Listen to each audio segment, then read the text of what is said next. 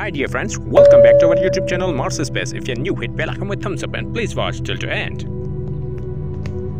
This image was taken on Sol 3462 on board NASA's Mars Curiosity rover on the surface of Mars using left Mastcam and it spotted an anomaly. Watch in close-up.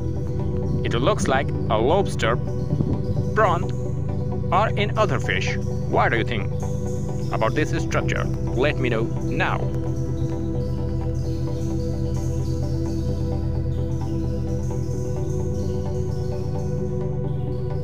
Here are new pictures of Mars captured by NASA's Mars Perseverance rover. Mars Perseverance rover acquired these images on 20 May 2022, Sol Immersion Day 443 of its mission.